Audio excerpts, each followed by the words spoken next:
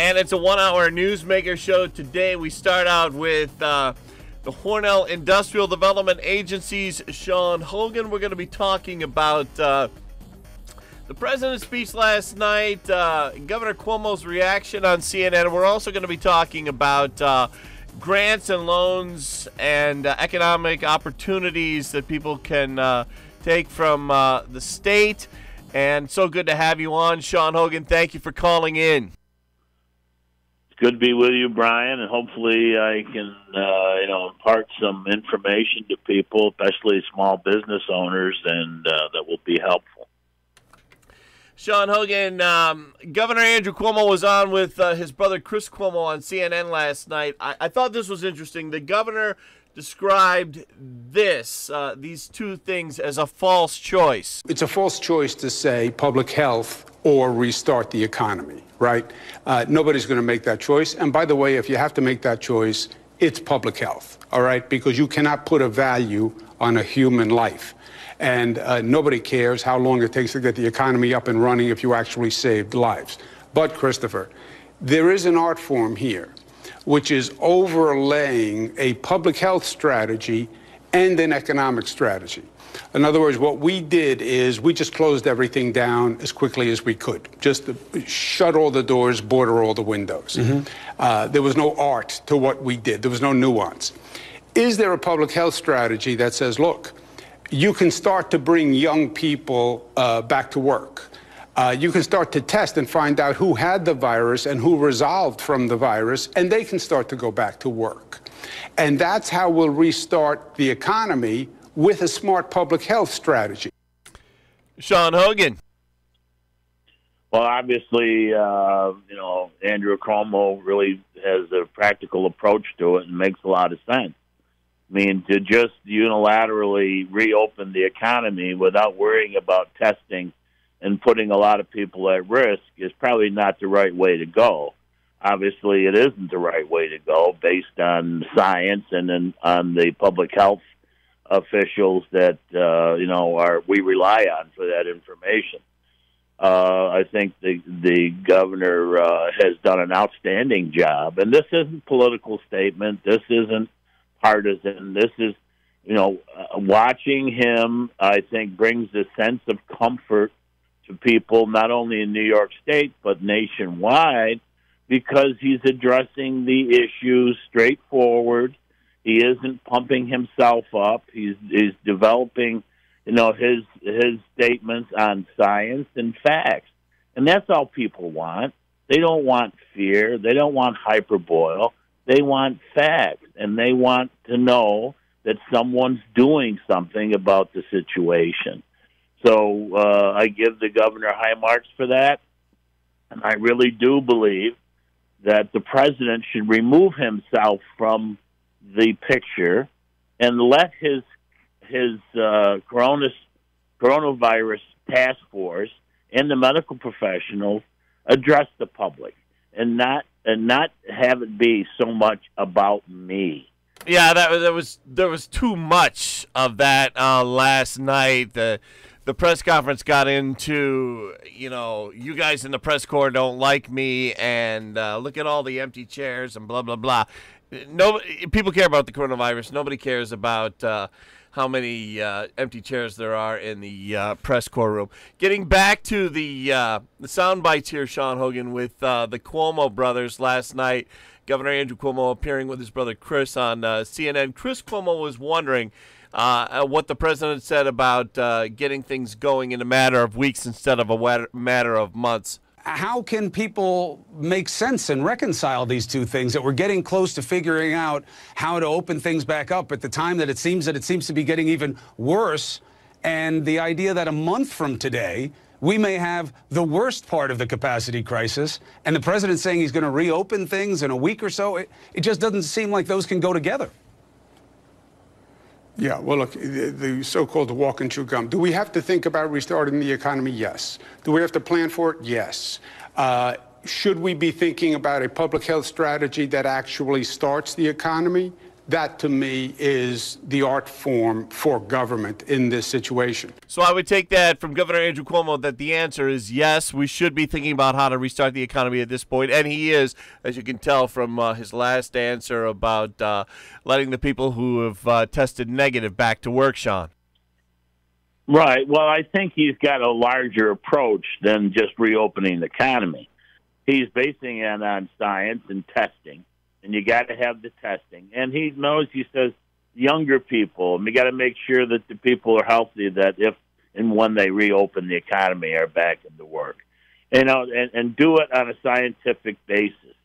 And uh, yeah, so yeah, I think we all understand the economy has got to reopen, and the sooner the better. But you can't do it at the peril of of more people getting sick and more people dying. It, it's got to be an intelligent approach, and I think if everyone works together, they can get there. But it's too early at this juncture. We're not even through the first phase of this 15 day social distancing separation. And so, you know, I think we need a little more time and we need a little more science and we need a little more thought into the process. Talking with uh, Sean Hogan on the uh, one hour Newsmaker show today. Sean Hogan, um, big question uh, that uh, people are facing, and Congressman Tom Reed uh, addressed this last night. Uh, as far as legislation that the Problem Solvers Caucus is working on in Washington, that they're hoping to get passed with all this crazy gridlock in Washington and crazy arguing that they're having right now, which is not the it's not the time for that uh, kind of thing. But anyways, um, reason we wanted to have you on the show this morning, the big reason is to talk about the uh, the loans, the grants, what what people can uh, in small businesses listening, uh, what kind of help can they get, Sean Hogan? Well, a major uh, uh, development is when the president declared New York State a disaster area. That opens a whole uh, uh, a whole lockbox of things for small businesses in our in our state, whether it be restaurants or hotels or uh, you know uh, catering facilities or things of that nature. You, and you have to go online and see what's available. Uh, SBA.gov um, you know, even for people in agriculture, if they're damaged in a way, you can go to USDA and rural development. So there'll be a lot of programs out there. Uh, as far as um, the larger businesses, obviously we have to wait and see what the uh, economic uh, uh, package is that comes out of uh, the stimulus package that comes out of Washington and I hope and hopefully that will come out today. And I think uh, uh, either side, whether it be Democrat or Republican, trying to put uh, items in that legislation that are special interest any in any way, whether it be uh, you know Green New Deal or more tax credits for big businesses, et cetera. All that stuff should go away what should they be focused on? Number one is uh, economic security for American families, giving them the resources so they can feed their families and pay their bills. Number two, they should be uh, concentrating on businesses and how they can, can can keep people on their payroll and not lay them off. And number three, aid to municipalities and states whose budgets will be busted, whether it's New York State or whether it's the city of Hornell or whether it's the town of Alfred or the village of Alfred. Budgets will be under stress. And if you're going to restart the economy, now is not the time to have to raise taxes at the local level of any or any level. We need that priming the pump is an old adage, whether it was from the 1929 uh, and and the the New Deal with the Franklin Roosevelt. Priming the pump is the key to restarting and to keeping our uh, economy from totally uh, from total devastation. And that's what should be coming out of, of Washington. Not only that, but aid to our hospitals.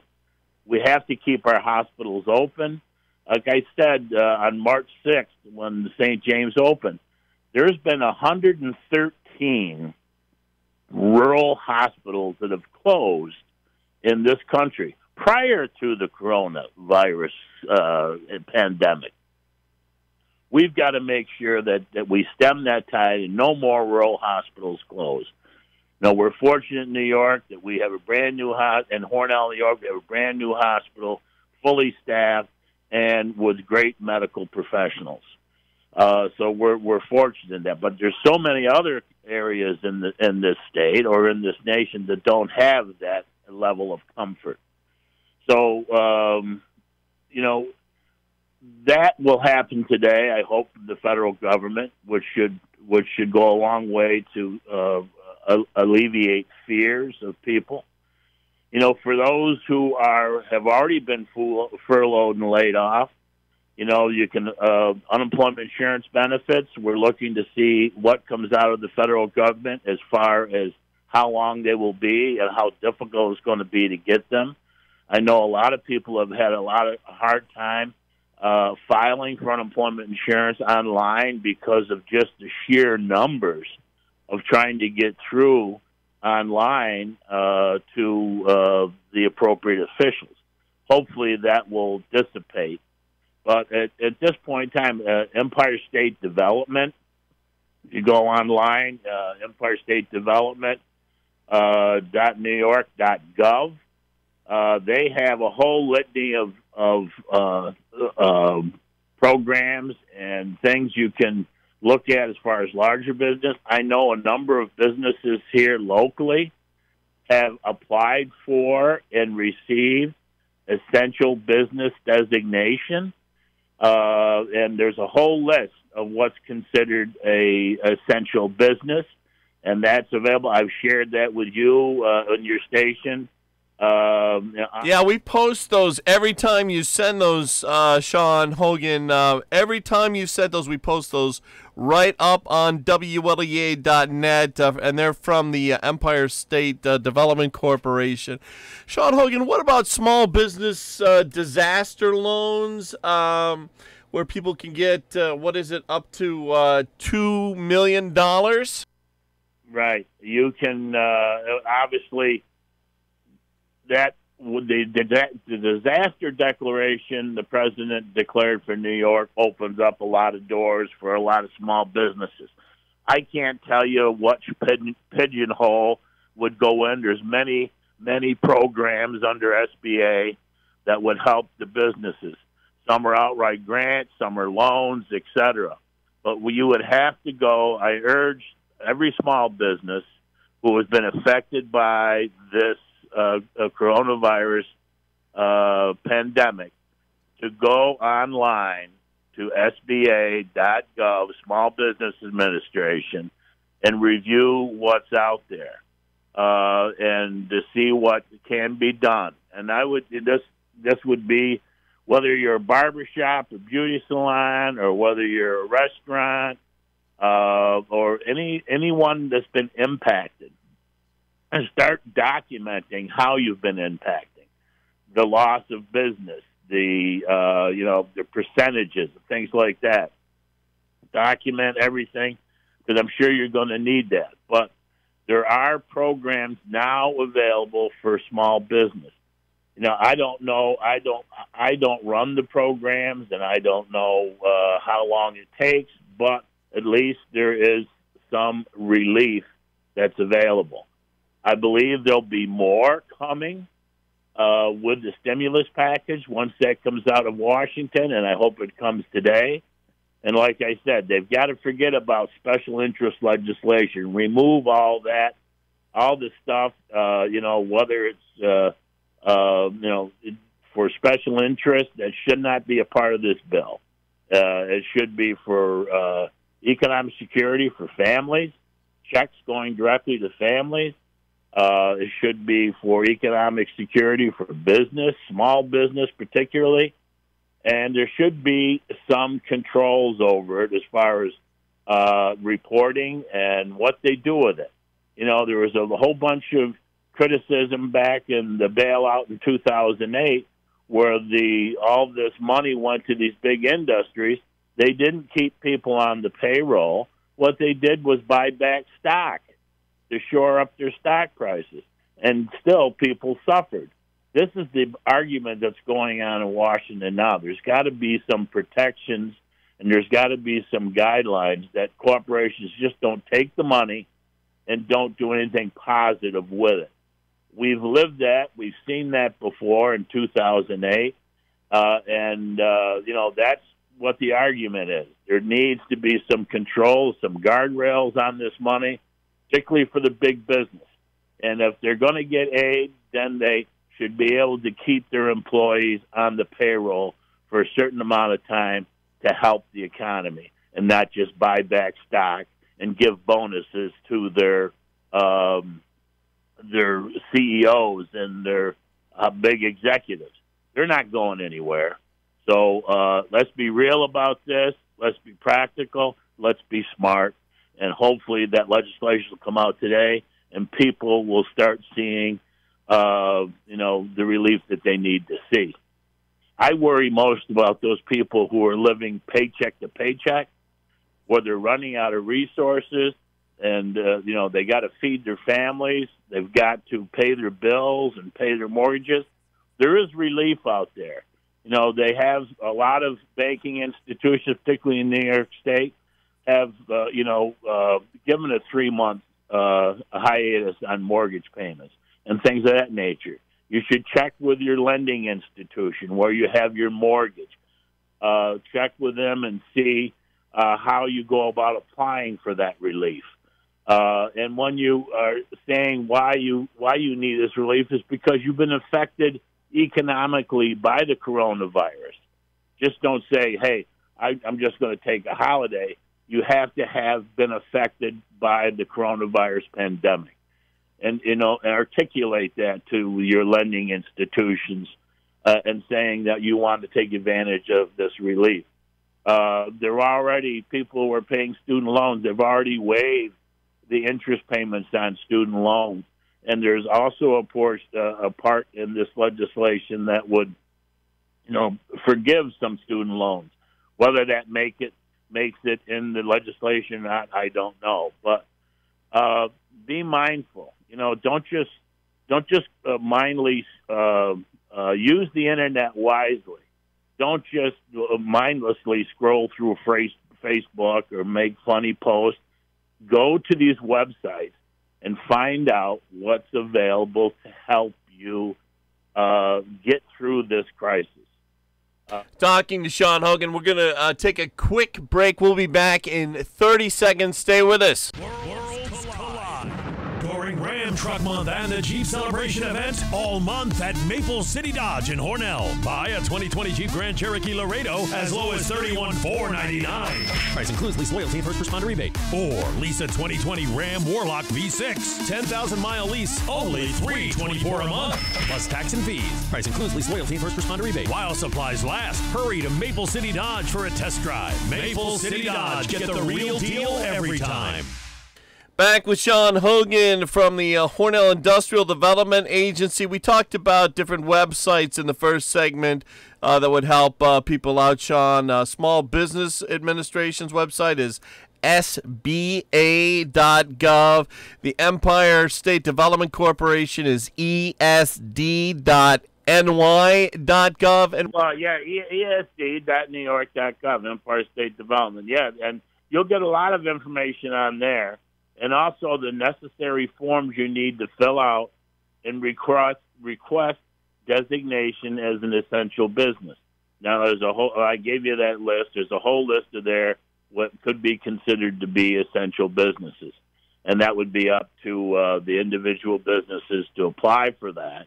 And you can do that online. Like I said, we have a number. We had a number of businesses uh, involved in the transportation industry in Hornell uh, they all applied and they were given uh, status as an essential business so they can operate. They can operate under the guidelines of keeping people safe and practicing social distances, but they didn't have to close completely, which is good news uh, for our local economy.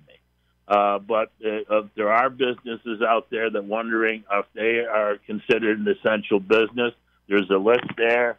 You can go through that list, and also there's a there paperwork you can fill out. It's a one page form you can fill out and and send it to Empire State Development, and you can uh, and they will get a quick turnaround determining uh, and give you a determination whether you are considered an essential business and whether they grant that designation.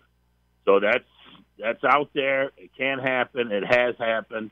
I encourage uh, businesses, if you have any doubt whatsoever, to check out that website. We've been uh, speaking with uh, Sean Hogan here in this one-hour uh, Newsmaker show. Uh, Dr. Gary Ostrower coming up in a few minutes. Sean Hogan, uh, as you know, I'm sure uh, we uh, interrupt a lot of our regular programming for both uh, President Donald Trump's press conferences and Governor Andrew Cuomo's press conferences. I'll have to check my email in a second here um, to see if uh, Governor Andrew Cuomo has uh, has uh, just answering the phone here with Dr. Gary Ostrower to see if Governor Andrew Cuomo sent out a, uh, an announcement that he's having a press conference this morning. He's been having them uh, for the past several days in the 10 o'clock hour, and like I just said, we like to break in with those. Uh, Sean Hogan, anytime you want to come on, anything you ever need to discuss, uh, you know, you know how to find us. Right. I just want you know the small businesses out there uh, to uh, be mindful that there is assistance, and uh, with the disaster declaration, SBA.gov, uh, there's a whole uh, myriad of uh, programs that could be of assistance. So uh, you know, check it out, and uh, you know, be on the alert for uh, programs that could be of assistance. Sean Hogan, I want to thank you so much for uh, joining us. And uh, people can contact the IDA too, I'm guessing. Yeah, um, uh, the obviously the office is is closed, uh, no public traffic. But if people want to contact, they can call uh, three two four zero three one zero, or they can call um, my cell phone nine six eight six one eight zero. 324-0310 or Sean Cell at 968-6180. Sean, thank you for joining us. Thank you. Bye-bye.